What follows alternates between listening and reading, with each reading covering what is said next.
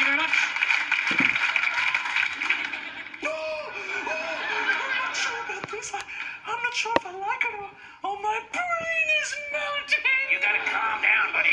Calm down.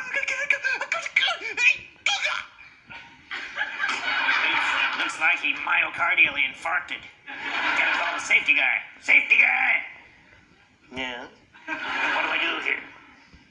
Well, from the looks of things, you have to apply mouth to mouth. Really? Yes. Well, I guess he's dead then.